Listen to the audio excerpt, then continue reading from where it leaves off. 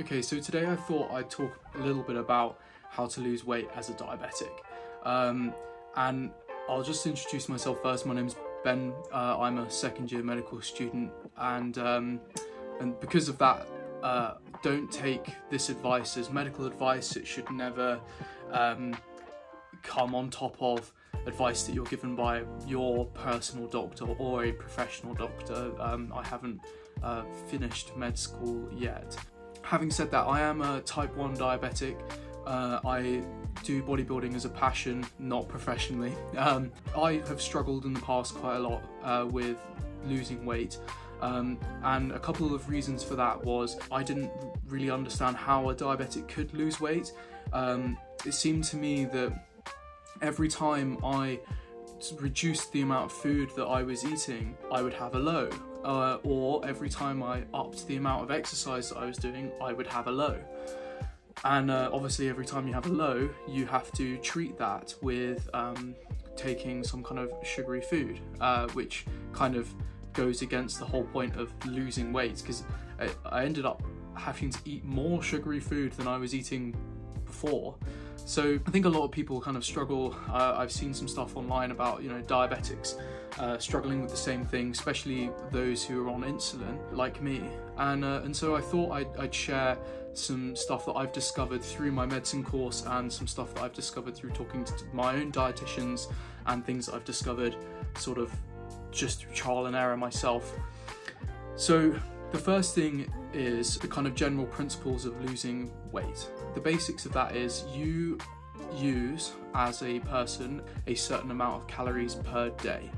So let's say for me that might be 2,500 and you can calculate roughly how much you will be burning uh, yourself online using a calculator um, and I'll, I'll, try and link one of those for you in the description box. Basically, you, you will burn a certain amount of calories per day. Uh, that's just the amount of energy that your body needs to survive. And um, in order to put on weight, you eat in excess of those number of calories. You eat, let's say you burn 2,500 calories in a day. If you eat 2,600 or 2,501 or 3,000, you will put on weight. And in order to lose weight, you will need to eat under that amount. So that's called a calorie deficit. So for me, if I want to lose weight, I want to be eating roughly 2,300 rather than 2,500. But as a diabetic, if you reduce the amount of food that you are eating, you will have a low. So, what you have to do as a diabetic is you reduce the amount of calories that you are eating and you can use something like a calorie counter to do that. I use my Fitness Pal, which is an app. Uh, you can use that for free. There's a couple of amazing things about that. You can scan foods like the barcode on the back of uh, a packet and it will tell you how many calories are in there and you can add it in straight away. It also tells you how many carbohydrates are in there, which is really good for people who inject insulin like me. But what you do is you, you will calculate how many calories you're eating a day and reduce that by uh, roughly 200 calories. As I said, 2,500 roughly down to 2,300 for me. You're gonna have to work that out for yourself. Um, and then you will have lows. Uh, and you need to preempt that by slightly reducing your overnight insulin. Uh, so most people, most diabetics will be taking at least two insulins. Uh, one of those will be a, a short-acting insulin, and some of those will be a, a long-acting insulin. And uh, I found that I had to reduce my uh, long-acting insulin. Basically, uh, your body uh, gets uh, used to the amount of food you're eating over a certain period of time. Uh, I think it's around two weeks on average, but it could be you know a month. it could be more than that. Um, that's a rough ballpark. And so what you're going to have to do is you're going to have to reduce the amount of calories that you eat, reduce the amount of insulin that you take, and then in a couple of weeks, you will start to see a reduction in the amount of weight that you are losing. So let's say I lost a kilogram, that's, you know, just a random amount. But let's say you lost a kilogram in that first week. In a month's time, I might not be losing anything by having 200 calories less or I might be uh, losing half a kilogram, and that might be fine with you, but um, what you're going to need to do is reduce the amount of calories that you're eating again and reduce the amount of insulin that you're taking again. Now, a note that I should, you know, make sure that you guys are aware of is as you um, get smaller, as you become a smaller person, uh, because you are losing fat, uh, you will need less insulin as well. So you may find that you need to reduce your ratio of uh, short acting insulin. So if you are taking 1 to 10 units, uh, so one unit for every 10 uh, grams of carbohydrate, you may need to move that to 1 to uh, 15 grams of carbohydrate. And that's basically the principles. So, a couple of things to help you out is exercise. So exercise will play a minor factor in losing weight. So it's not nearly as effective as just reducing the amount of food that you eat, but increasing the amount of exercise that you do can play a role. Uh, you're going to have to play around with uh, changing your insulin to facilitate that, and you're also going to have to play around with maybe eating a banana or something in between times. The other thing that you should consider doing is reducing the amount of carbohydrates that you eat. So carbohydrates are the main fuel source of a person, but they give diabetics uh, sugar spikes. You know, they, they give anyone sugar spikes, but in particular diabetics, uh, it gives you a, a, sugar spike. Your blood raises your blood sugar levels, and that can be difficult to calculate. So, uh, one thing that you can do is reduce the amount of carbohydrates that you eat, and by reducing the amount of carbohydrates that you eat, you reduce the chance of getting a injection amount wrong. So, the smaller the amount of sugar that you have in your body, the lower the chances of you getting your insulin wrong. And therefore, the lower the chances of you having a low, and therefore the chances of you needing to eat more sugar uh, is reduced. Another thing is that carbohydrates are also quite calorie dense.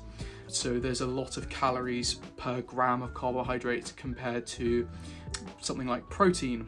So in order, it goes fat being the most calorie dense, and then carbohydrates, and then protein.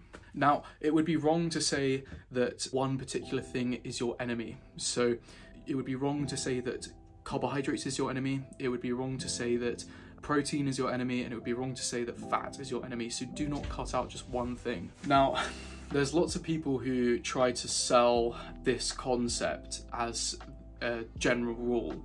Now, so things like the keto diet, where you cut out all carbohydrates, capitalizes on the concept that carbohydrates are your enemy. And then, you know, historically, there was a lot of movements that said fat is your enemy.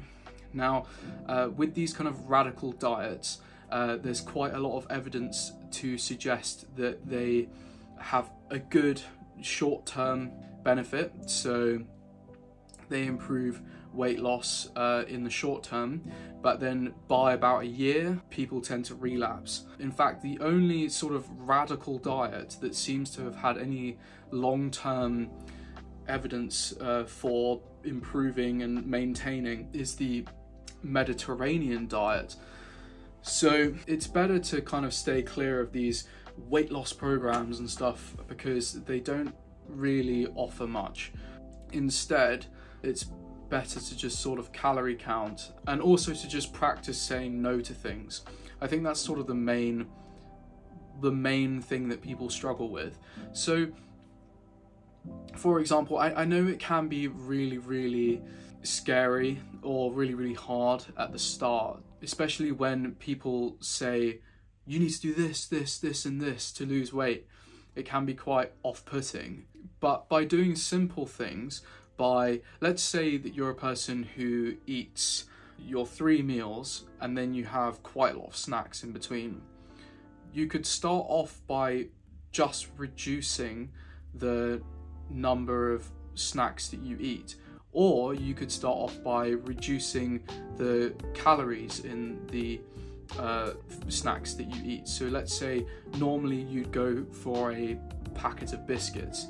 Maybe you could go for a packet of low calorie crisps. After you've done that for a while and that seems okay, maybe you could swap those low calorie crisps for a banana. And then after that, you could maybe try and not eat a snack at all uh, in between meals. And it's just practicing little changes by that that in the short term might not make a massive difference, but in the long term make a huge difference. So, another thing that I'd say about losing weight is that it is not a short term investment. It's not a it's not it's not something that you can start doing one day and then a month be done. You know, those things that say, I'll give you a six pack in three months. It's the, you know, that, that's just not how it works. It's a very long term investment. So, minor gains over a long period add up to lifelong benefits rather than, you know, massive changes at, at the start might mean that you lose weight like that but then very quickly relapse. And, and quite what they found is that with a, quite a lot of people who relapse, they tend to relapse even further. So they tend to get even more, put on even more weight than they had before. The other thing about doing more exercise is that when you do more exercise, it has a lot more benefits for your health than just losing weight. They found that actually, when you lose weight, it can have better health benefits for you than giving up smoking in the short term. The sort of exercise that you might want to try doing is things which are low impact. So, let's say you never go for a run. I wouldn't suggest suddenly taking up running. What I'd suggest doing is a sport that maybe you used to enjoy or you still enjoy but don't do that often, maybe try and do it more often. Maybe try and do something with friends. So let's say your friends go um, play tennis and you used to love playing tennis when you were younger, maybe join a tennis club that your friends go to and um, you know playing with them. Or perhaps you could, uh, let's say, you cycle once per week. Maybe find the time to start cycling twice per week and then increase it to three times per week. But it, doing one really intense run every two weeks or once every week is not nearly as beneficial as going for a 30 minute walk every day. So, moderately intense working out or exercise is way more beneficial if you do it for 30 minutes like a day, uh, 30 minutes a day compared to uh, doing it once per really high intense exercise once per week. By and large, you want to make small changes uh, over a long period of time and be confident and be determined and stick to the rules and you know don't make huge changes that are going to be really hard to keep up um, and that's the best way that I've found, and it's worked for me so far.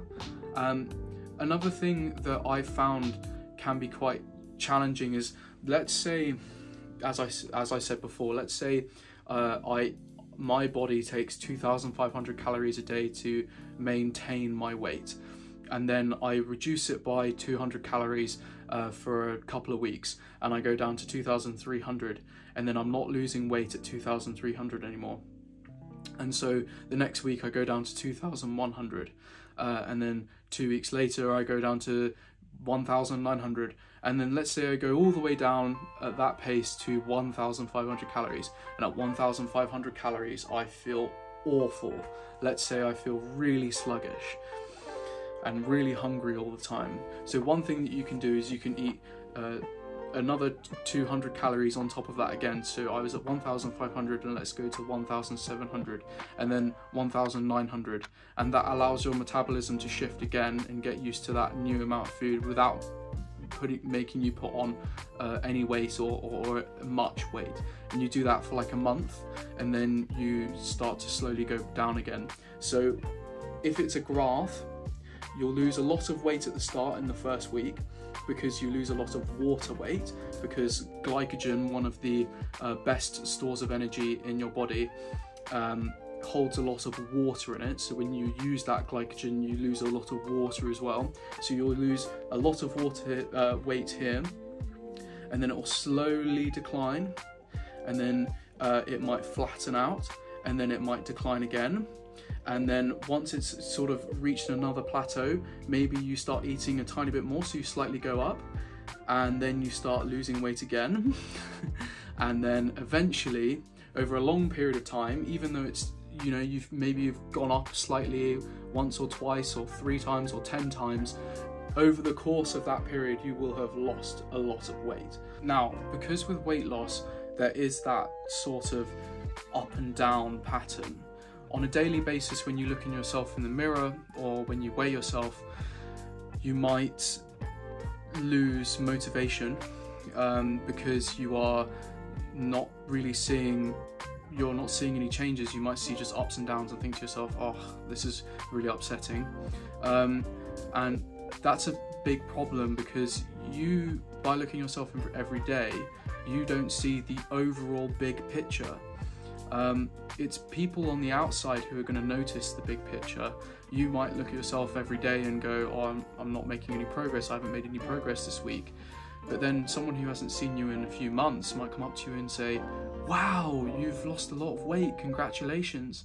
And it, it, it that because of that, it's important that you don't go based off motivation, but based off discipline. And so rather than going like, yeah, I'm gonna smash it today, I'm gonna lose weight today, instead go based off, okay, I've, I've practiced, you know, not eating those snacks and now I'm just gonna continue doing the same thing. If you have any questions, please do let me know. Again, I want to reiterate that I am not yet a medical professional, so this should not uh, take precedent over your uh, medical advice from a doctor. And it's always best to consult a doctor or a dietitian or someone like that. But if this gives you a bit of guidance and a bit of help, um, I'm glad I could be of use. Uh, please, yeah, let me know any questions in the comments section, uh, or if you think I've got anything wrong, please do let me know. Um, I'd love to have a community of people who, in my sort of following base who help each other out, uh, and and I, I benefit from people telling me stuff too. So please do that. And um, yeah, I hope you have a good rest of your day and good luck with your diet.